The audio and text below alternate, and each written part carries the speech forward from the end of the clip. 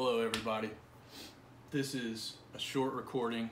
It's going to cover Chekhov's The Lady with the Little Dog and Reed Whittemore's poem For the Life of Him and Her. This belongs, this is a piece of the characters and relationships block or module in D2L. We're going to do two modules from the characters and relationships block this one, and then another one that covers several poems. We're going to start, like I said, with the lady with the little dog. I think this is the oldest story that's on our syllabus this semester. Uh, you can see it right here. This is a story from 1899, so it's uh, over 120 years old.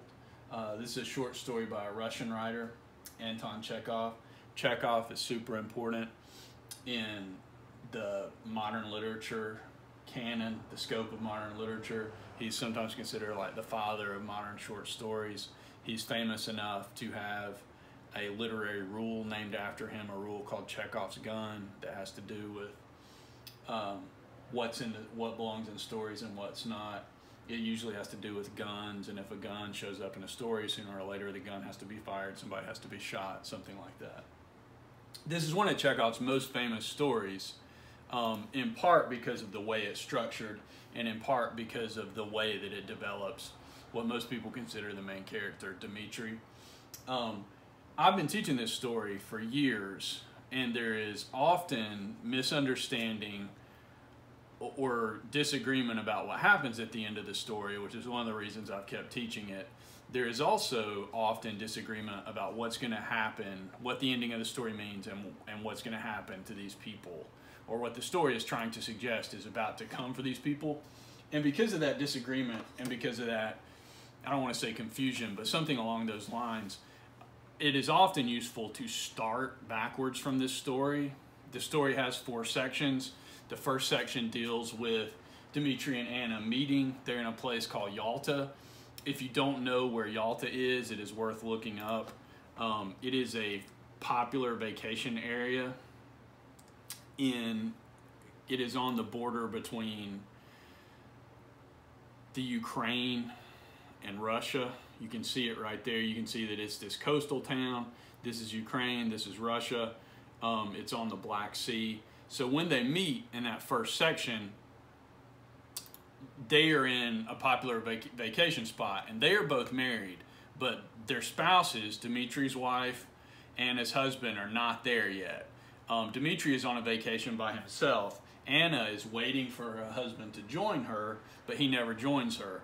And that leads us, you get the first section where they meet, uh, they get closer. Let's see. Here, uh, they meet, he meets her through the dog. That's how the story gets its title, The Lady with the Dog. Um, the second section is about them having sex for the first time. They get intimate for the first time. The way that they both react to that experience, which is Dimitri sort of just blowing it off. You know, he got what he wanted, versus Anna, who's who's sort of destroyed, feeling really guilty, disgusted with herself, afraid that she has become this trashy, awful person. She even uses the word trash, depending on which translation you read. Uh, the third section, at the end of the second section, they go their separate ways. Anna's husband asks her to come home. She comes home. Uh, you can see that right there. The train moved off rapidly. Um, and then Dmitri, it's time for me to go north, thought Gurov as he left the platform. High time. He goes back to Moscow. Um, the suggestion, one of the common suggestions in this story is that he lives in Moscow. She lives in St. Petersburg, although where she lives is never named. All you ever get is S, but those are two of the major cities in Western Russia. Um, the third section, he goes back home, he goes back to his family, he goes back to his job, back in, all back in Moscow. But unlike what has always happened before with all these other affairs he has had, he is different. He has changed. He can't forget her. He can't get over her he tries to tell this other guy that he works with, this friend of his, how different she is, how interesting he, she is, and, and the other guy just blows him off. But finally, because he can't forget her, he goes and finds her and tells her how he feels. And then the fourth section, let's get down to it. The third section is long because he has to find her, talk to her. The difference is, though, Um, when he tells her that at the intermission at the play that they're at, this uh, this is this play, or I'm sorry, this story is so old that it was before there were movies. So he get when he talks to her, he talks to her at the intermission at a theater at a play. Um, she says that she feels the same way. She hasn't been able to forget him, to get over him, and that she's going to come and find him. And so then in the fourth section, and Anna Sergeyevna began coming to see him in Moscow once in two or three months. She left. There's the S. Most people read as St. Petersburg, but it could be something else. Telling her husband that she was going to consult the doctor about an internal complaint. And her husband believed her and did not believe her. In Moscow, she, stayed at, she stayed at the Slaviansky Bazaar Hotel and at once sent a man in red cap to Gurov. Gurov went to see her. No one in Moscow knew of it. And so they begin this affair where she comes to him. That's part of the important um, portion of this is that she has changed from when they first were intimate in Yalta, where she is trash and can't believe, where she thinks she is trash and can't believe this awful thing she has done and is feeling just terrible and guilty about it. Well, now she's all in, and she's she's not only totally into it, into the affair, but willing to come to him, willing to lie to her husband about it. She's willing to come to him, uh, just like sort of reciprocating uh, how he came to find her. Um, and then you get to the end of the story. They've been coming, she's been coming to see him, they've been meeting in this hotel, and then you get uh, what most people read as the most important part of this entire story. It is this part right here, a few paragraphs from the end. He went up to her, took her by the shoulders to say something affectionate and cheering, and at that moment he saw himself in the looking glass. Very often in stories, in movies, and shows, when somebody looks in a mirror, it's an important moment because it is this moment where they realize something about themselves or understand something about themselves. And that's the case in this story. His hair was already beginning to turn gray, and it seemed strange to him that he had grown so much older, so much plainer during the last few years. The shoulders on which his hands rested were warm and quivering. He felt compassion for this life, still so warm and lovely, but probably already not far from beginning to fade and wither like his own. Why did she love him so much? He always seemed to women different from what he was, and they loved in him not, some, not himself, but the man created by their imagination, whom they had been eagerly seeking all their lives. And afterwards, when they noticed their mistake, they loved him all the same. Not one of them had been happy with him. Time passed, he had made their acquaintance, got on with them, parted, but he had never once loved. It was anything you like, but not love. And if you think of this story and specifically what has happened between him and Anna, Time passed, he made their acquaintance, got on with them. That's what happened with him and Anna. They parted. And and they parted and went their separate ways and he forgot about it. What is different is that is not what has happened this time. He had never once loved, except he fell in love with her, couldn't forget her, had to go find her. And only now, when his head was gray, he had fallen properly, really in love for the first time in his life. Anna and he loved each other like people very close in kin, like husband and wife, like tender friends. They forgave each other for what they were ashamed of in their past. They forgave everything in the present and felt that this love of theirs had changed them both. That's a really important idea because what that idea shows you and what that introduces in this story, it, it introduces two concepts that are worth talking about and that um, are on the syllabus for the course. One is realization this is an Arist, uh, Aristotle concept, Aristotelian concept. It has to do with Aristotle argues that there are three things that all stories need to have. There is reversal, which is when this plot of the story changes direction. Things are going good, then they go bad. Or things are going bad, then they turn good. Um, this story has a sort of reversal when he is missing her, finds her, she agrees to see him. So he is lonely and missing her. Then the story reverses course and they start towards working things out. This is the bit, what this story is really built on though is not reversal, it is built on realization. He has this realization that despite the fact that he is, you know, at least 40 years old or, or around 40 years old, he is married, he has two kids, the way he feels for her, he has fallen in love for the first time in his life it is just totally, he is totally changed. She has totally changed him. The way he feels about her is totally different than anything he has ever felt. Um, and you see right here, here's the end of the story. Then they spent a long while taking counsel together, talking of how to avoid the necessity for secrecy, how to stop doing what they've been doing, how to get to a different level in their relationship, how to stop her having to come see him in secret um, for deception, for living in different towns, not seeing each other for long at a time. How could they be free from this intolerable bondage? How, how, he asked, clutching his head. How? And it seemed as though in a little while the solution would be found, and then a new and splendid life would begin, and it was clear to, clear to both of them that they had still a long, long road before them. And the most complicated and difficult part of it was only just beginning. This is what, when I, when I talk about this story in classes, people read this ending in different ways. The common understanding of this, and what I would suggest, and you can disagree with this, the story seems to support this reading and, is, and be trying to push you in this direction, is this idea that they can't go on this way and what they have realized because he has realized that he is in love with her and she is in love with him and, and has been but it's taken him a while to finally realize how deeply he feels for her and how different it is from everything he's had before including his marriage um, what you get right here is this acceptance this realization that they want to be together and the that the most complicated and difficult part was only just beginning. That what is about to have to happen is they are both going to go through divorces and be together. That he, he will leave his wife, leave his children, and be with her, this person that he loves. The, the love part, they've got that part, but the complicated and difficult part, the breaking apart from the people that they are with and becoming together and living in the same town and being together in this practical, constant way. This is just the beginning of really acting out the way that they feel for each other.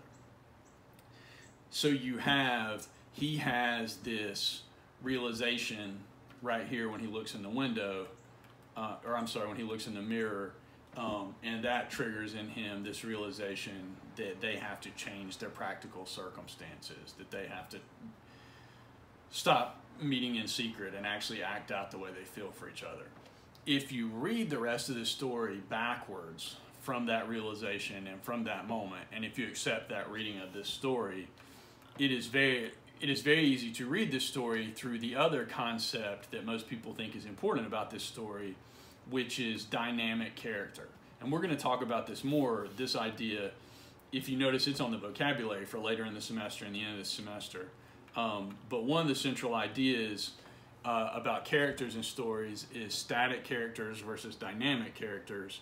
Static characters stay the same, they don't change. Um, what they want stays the same, the way they act stays the same, their behaviors, their actions stay the same. Dynamic characters, the reason they are in this story is to change, and they change in the course of the story. The common understanding here is that by, especially by the time you get to that mirror scene, what is happening to Dimitri is this completing of the change that has happened to him that begins when Anna gets on the train and leaves at the end of the second section. And then he goes back home, he goes back to Moscow. He can't he can't forget her like he's always forgotten all these other affairs, all these other women that he's met, all these other women that he's hooked up with. He's not ready to leave his wife and family yet, like he seems to be at the end of the story but something has changed, something is different. Um, you can, the real way that this story defines that and how he is this one kind of person, a lot of the first two sections of this story are designed to teach you what kind of person he is so that you can see that change happen to him in the second in the second half of the story, the third section, the fourth section. The obvious ways um, that this story teaches you that um, are right here at the beginning. He was under 40, but he had a daughter. He'd been married young when he was a student in his second year. Now his wife seemed half as old again as he. Um, and you get this description at the beginning of the story that they are just sick of each other. He hates her, she hates him. He had begun being unfaithful to her long ago. He had been unfaithful to her often, and probably on that account, almost always spoke ill of women. That for him, in general, women are just either his wife, this thing to be annoyed by when he's home, or these random hookups that he has depending on the circumstance and then forgets about, brushes off. Um, in the society of men, he was bored and not himself. With them, he was cold and uncommunicative. But when he was in the company of women, he felt free, knew what to say. So you get this description of how it is he he has felt most comfortable with these women, but they're also just sort of disposable for him, except for his wife, who who is basically just his his business partner, um, raising their children at this point, where the story begins, um, and he means when he sees Anna and and plays with her dog as a way to get to talk to her and flirt with her, he means for Anna to be just another one of these women that he sort of uses and then throws away. Um, and you get that. The scene that always, I think, shows that best and that teaches you that is in the second section. They've been they've been friendly. They've been going for walks at the beach. Um, they go to the beach and then they go back. You can see. Let us go to your hotel. He said softly, and both walk quickly. They go back to her hotel. Um, this is where they are intimate for the first time. They have sex for the first time, um, and then you can see their very different reactions to what has happened. Dimitri is, is like, well, I finally got what I wanted. Great, no big deal. Anna, on the other hand, is totally scandal- scandalized, totally upset. Um, her face dropped and faded, and on both sides of it, her long hair hung down mournfully. It's wrong, she said. You will be the first to despise me now. And, and Dimitri is like, why are you being so dramatic about this? This is no big deal. He just sits there and eats a watermelon and is like, what is what is the big deal here? You see, there's a watermelon on the table. Gurov cut himself a slice and began eating it. There followed at least half an hour of silence. She's all upset. She's totally distraught, disgusted with herself. He doesn't comfort her. He just sits there and eats this watermelon. How could I despise you? You don't know what you're saying. God forgive me, she said, and her eyes filled with tears. It's awful. You seem to feel you need to be forgiven. Forgiven? No. I'm a bad, low woman. I despise myself and don't attempt to justify myself. It's not my husband, but myself I have deceived. And, and not only just now, I have been deceiving myself for a long time. Gurov, and then you get this long, she has this long description and explanation of her and how she's just disgusted with herself. Gurov felt bored already listening to her. He was irritated by the naive tone, by this remorse so unexpected and inopportune. But for the tears in her eyes, he might have thought she was jesting or playing a part. So he thinks she's just being melodramatic about this, that, that she's blowing it way out of proportion. I don't understand, he said softly. What is it you want? Um, and she says, I love a pure, honest life. Sin is loathsome to me. I don't know what I'm doing. Um, this is the this is the second section, and at the end of this section, if you notice, the affair goes on until her husband calls Anna home, um, and we're back to them at the train station. And she is the one who has to break off the affair because she has to go home to her husband. And Dimitri's response to that is relief. He is like, Thank goodness I didn't have to break it off. It kept the drama. It's her responsibility no big drama. She just has to leave. Um, and he is like, thank goodness. I had the affair. It's over. You know, minimal drama, no problems. Now I can go back to my normal life. It's also worth talking about that the reasons they are unhappy in their respective marriages are different. We talked about Dimitri.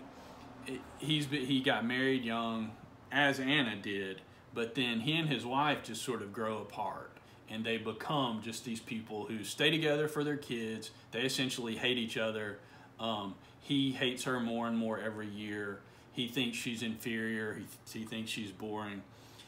Anna has a has a different situation. She is clearly younger than Dimitri. She also got married young, but clearly what has happened is she has just sort of outgrown her husband. She is still growing, changing. Like almost all of the descriptions of her, and especially when she thinks about him, are these descriptions of how he is just this boring, sort of mediocre, bland, vanilla person who they got married really young and they were ready to grow together, and he stopped growing and just sort of settled into his middle management, mediocre life. She is still interested in growing and developing and seeing new things and experiencing new things. And so she sort of it's not that they grow apart and maybe they just haven't had a chance to but she has outgrown him or she is still growing and changing and he has not and, and she has realized that he is limited in a way that she's not comfortable or happy with and is, and is not going to ever be happy with and so what you get is they both are ready to get out of their relationships, but for different reasons. That's really what you get in the third section at the theater. Dimitri, when he comes and finds her, he had no other option. He couldn't just Snapchat her or, or, or call her or find her. He when he realizes he can't get over her, he does the only thing he can do, and he does it in the least intrusive way possible. He makes sure that he doesn't, that her husband doesn't find out. He finds her house um, but then doesn't knock on the and he knows it's her house because he sees the dog but he doesn't knock on the door. He doesn't try to contact some servant or anything like that. He waits until they go into a public place and then at the intermission of the play where they're seeing he sort of discreetly comes up to her says hey i can't stop thinking about you. I just wanted to let you know and see what you thought about that. He seems to be giving her the option of saying I made a mistake. Get away from me. I never want to see you again. Don't I don't want to ruin my marriage. He seems to be giving her that option because she could say that and then he could just walk away and go home. Instead, what happens is she says, I feel this. She basically says, I feel the same way. I can't stop thinking about it either. Um, and that is what drives you from the third section into the fourth section and drives him to that realization that you give him. He looks in the mirror at the end of the story. If y'all have questions about this story, email me or we can talk about them the next time we Zoom or, or chat or whatever uh, way we're in contact, net, contact next. But that also teaches you or gives you a couple examples of dynamic character. Um, they are both dynamic characters, though Dimitri and Anna are both dynamic characters, though they are dynamic in different ways. Um, it also gives you a definition of that Aristotle, Aristotelian. It's from a book of his called Poetics. Let's see if we can find that.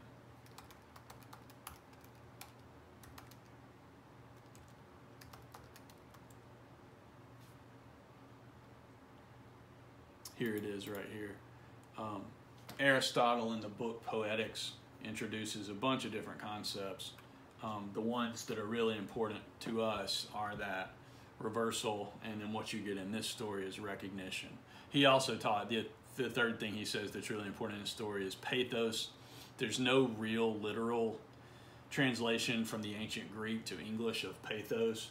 It's something like what we would call plot or conflict or something like that. Um, but what is really important here is the um, the recognition like I said, if you've got questions about that, um, I'm happy to talk about them with you. Um, but that's what's going to be important for you to write about, think about going forward for anything that's on any exam for this story. The one other thing that I want to talk about in this block of in this block and on this recording is this poem, which is called "For the Life of Him and Her" by Reed Whittemore. You can see it there. Um, this is a much more recent poem. This poem's um, less than 10 years old now. Uh, it's from 2012. Uh, and this is a much simpler poem. This is a poem about two people who are in a relationship. Maybe they're married, maybe there's just um, boyfriend and girlfriend. Um, but they are about, this poem is about how they cannot communicate. And you can see this poem has one, two, three, four. This poem has four stanzas. Um, stanzas one and three are from the female's perspective, um, stanzas two and four from the male's perspective, the boyfriend, the husband, um, versus the wife, girlfriend, whatever you want to call her.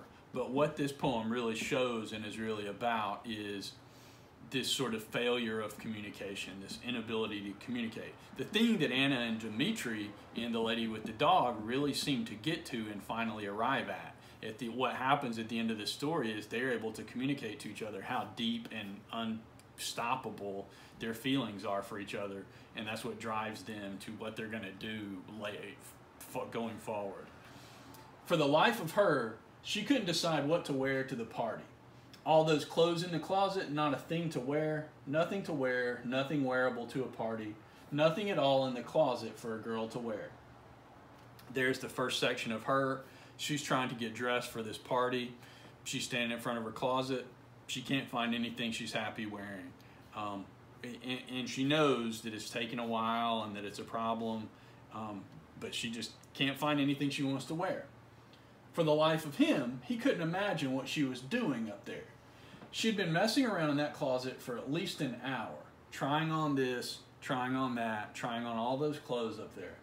So that they were already late for the party by at least an hour. So he's out there waiting for her. He's like, "What? What is going on in there? Um, what? What has been happening? Um, she's been trying on this, trying on that, trying on all those clothes. Um, they're already late for this party. They're both worried about this party, both thinking about this party. He's he's just ready for her to get ready and go so they can kind of get it over with. She wants to have the perfect outfit for the party. Then you shift back to her. If only he wouldn't stand around in the hall. She could get herself dressed for the party. She knew she could somehow, but he made her so nervous. And here's one of the central ideas, one of the central problems in this. She, he made her so nervous. He was so nervous there in the hall that she didn't think they would get to the party anyhow. So she is in there, and to compound her problem of not knowing what to wear, not feeling good about anything she's got to wear to this party, she knows he's out there waiting for her, and it's just making her more anxious and more stressed out and more nervous. Um, it, and she just needs to walk out there and say, Hey, you're making me even more stressed out.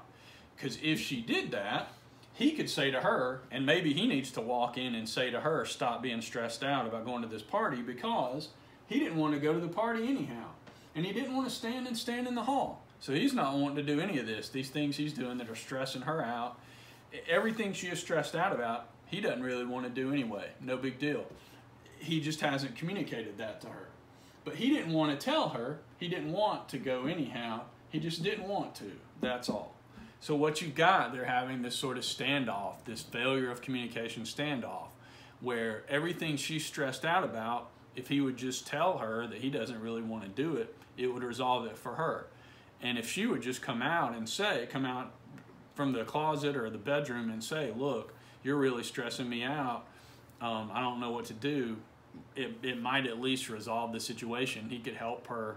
They could help each other if they would just communicate. So this is just a pretty simple poem about this gap um, and what the changing perspective from the stanzas going from her to him to her to him shows you is this gap in communication all these problems that they could easily solve if they just communicate with each other so that's the lady with the little dog or the lady with the dog depending on which translation you get because that story anton chekhov was russian um, so depending on which translation you get, you sometimes see it called the lady with the dog. Sometimes you get the lady with the little dog. You can see here Wikipedia calls it just the lady with the dog.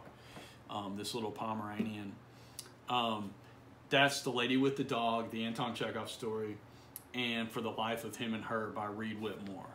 Uh, two of the pieces that are in our characters and relationships block.